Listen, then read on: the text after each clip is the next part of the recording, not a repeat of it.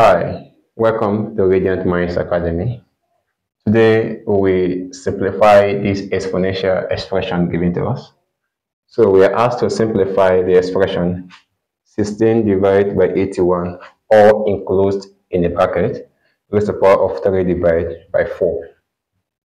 So we have that 16 divided by 81 all raised to the power of 3 divided by 4.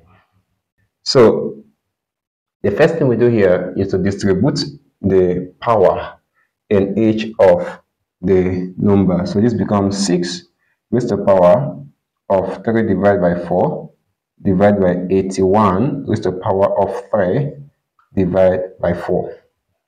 And then we can express 16 in the powers of base 2 and express 81 in the powers of base 3. So if we do, recall that 2 to the power of 4 is equal to 16 and 3 to the power of 4 is equal to 81. So therefore, this becomes 2 to the power of 4 to the power of 3 divided by 4 or divided by 3 to the power of 4 or to the power of 3 divided by 4. Now, very simple. If you look at the index, um, there are terms that can cancel out. So 4 can cancel out 4 here. Very correct. And also 4 here can cancel out 4 here.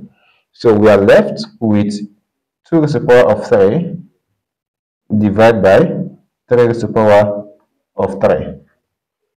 Okay, further, we can now express this as 2 to the power of 3 is equal to 8 and 3 to the power of 3 is equal to 27.